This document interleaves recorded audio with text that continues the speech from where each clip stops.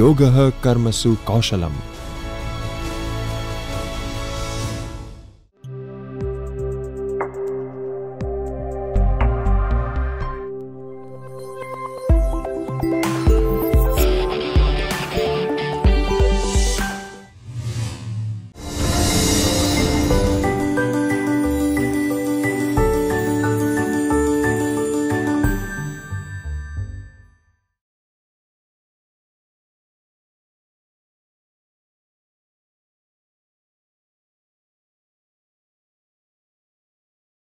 Namaskar. Namaskar. Welcome to annual refresher program in English language teaching which is broadly known as ARPIT. We have successfully conducted online refresher course in English last year and this year we are going with annual refresher program in English language teaching. I am very happy to invite Dr. Charul Jain here. Namaskar ma'am. Namaskar, sir. Dr. Charul Jain has contributed to the online refresher course in English also, and I'm very happy that she is contributing to this program also. Uh, Dr. Charul Jain is an associate professor in the Department of English, Faculty of Arts, the Maharaja Sayajirao University of Baroda.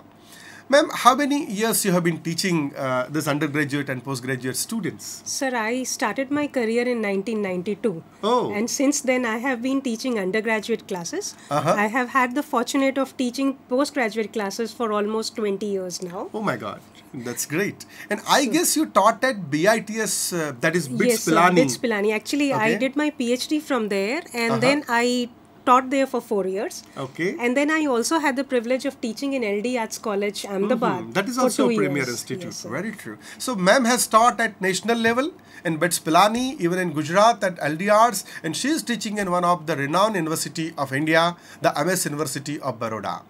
She has received a doctorate in a study of a process of Indianization of English with special reference to Indo-Anglian fiction. And she has, as she said, she has earned her degree from BITS Pilani. She has earned her MA and MPhil degrees in English. She has done postgraduate certificate in teaching of English. I guess you did it from EFLU? Yes, sir, what was at that time CFL. Yes. When I yeah, did it was called true. CFL. Very true. And what project you have carried out for that? Uh, actually, at that time, uh, we did not have any project because I did not go on to do diploma. I instead registered for MPhil. Okay, fine. Yes. She is uh, an avid researcher an academician. Dr. Jain has taught students at various levels and in various programs, ranging from diploma to guiding doctoral students or doctoral researchers, as well as teaching humanities and social sciences, law, business communication, and technology. Even she has taught to engineering students. She has extensively trained students for various entrance and competitive exams of national and international levels like CAT, GRE, GMAT, TOEFL, IELTS, NET, etc. Ma'am, uh, you uh, work with uh, training programs also. Can you little bit uh, say about Uh, it? sir, I have been associated with RELO in uh, American centers. Okay. And I used to conduct some national level teachers training. Mm-hmm. And I have conducted trainings in Gujarat as well as in Punjab and Uh-huh. some other parts of the country as well. Okay. And um, actually, whatever we as teachers learn from our students and from classroom experience, Mm-hmm. it is always a pleasure to share that with our fellow teachers. And when we interact with them, we also learn a lot. Very true. So that has given me a lot of learning and exposure to teaching practices across. And I also keep training students uh, for Very good. career counseling and other things. Very good. Her areas of specialization are English language teaching, English for specific purpose, Indian writing in English, and drama. Many of her articles have been published in journals of national and international repute. Dr. Jain has authored seven books for the undergraduate students of English, including Basics of Academic English and English for Academic Purpose. Dr. Jain has been conducting workshops for students of various colleges for teaching them employability skills like drafting resume and facing interviews and also on communication skills and personality development, including speaking effectively in English, developing effective reading and writing skills. She has been actively interested and involved in teaching English, integrating information and communication technology. So, ma'am, how exactly you do this integrating technology and that with uh, teaching and learning? Sir, one at the level of college, when I myself am teaching in classroom, there are a lot of resources available online. Very true. And then I have also used platforms like Classroom, where we mm-hmm. can use interactive method of teaching with the students. Very good. And now Google and WhatsApp and other things are such platforms where you can have easy, comfortable uh, interface with the students. So I guess you are trying to speak to them in their language. in their what language. they're, yes, they are doing. Yes, sir. that's very And sometimes lowering the barriers between teacher and students also facilitates the process of learning. Very true. She has been developing MOOC courses for MHRD, EPG Pathshala, and also for Swayam, as I told you earlier. Dr. Charul Jain is a member of Board of Studies of her department as well as member of the faculty board at the university level.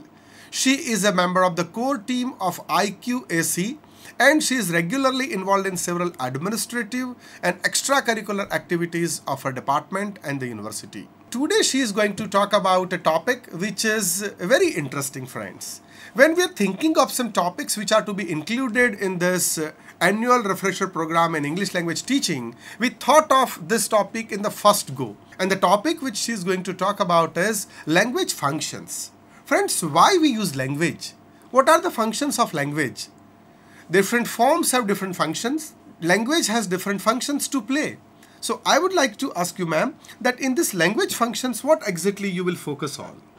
Sir, actually, when we talk about communication, the communication is always a purposeful activity. Very true. And there are certain functions that imperceptibly, inadvertently, we are employing through the use of language.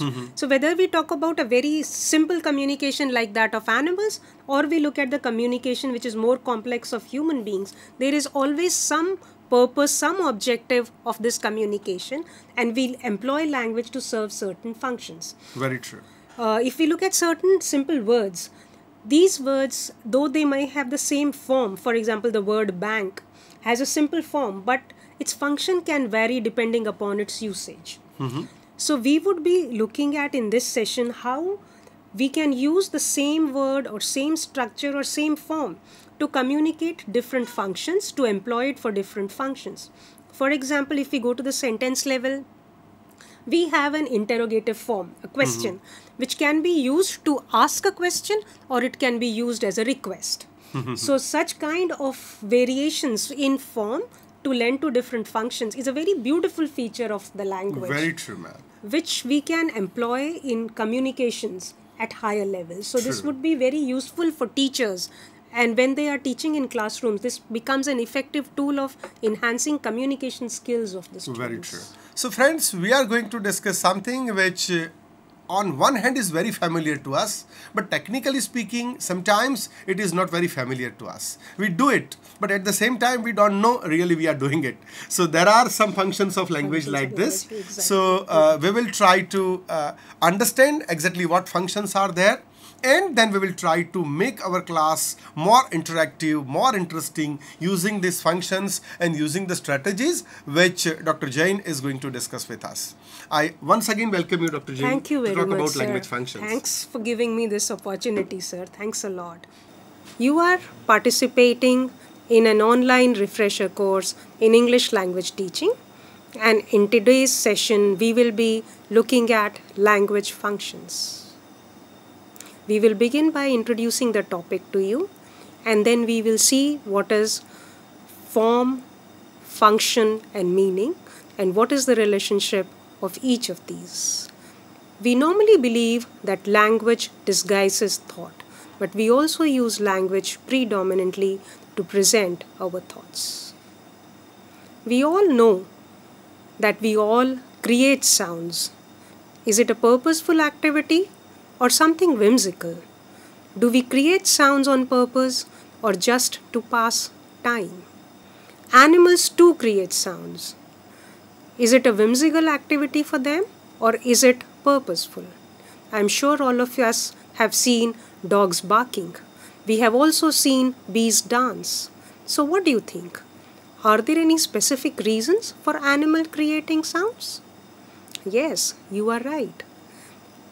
There is normally some purpose behind their creating sounds, Sometimes they are warning us about the danger or they are warning their fellow beings about danger.